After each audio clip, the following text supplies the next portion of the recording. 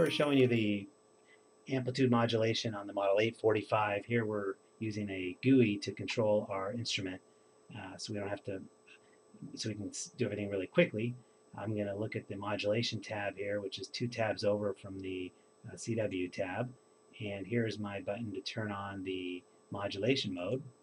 And now we see we're modulating. I can vary the uh, modulation frequency.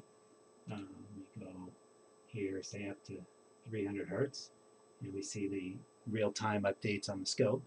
Uh, I could also modify the modulation uh, depth here by uh, bringing this down, say 50% or 40 or 30%, and we can see the uh, real-time updates as well on the scope.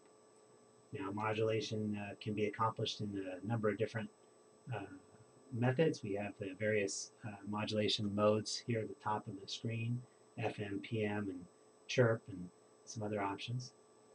And uh, that's modulation on the Model 845. I'll turn that off here. We go back to our